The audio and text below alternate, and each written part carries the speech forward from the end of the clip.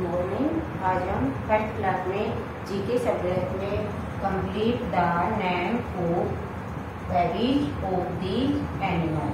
जानवरों के, बच्चों के नाम रीड एंड राइट करेंगे।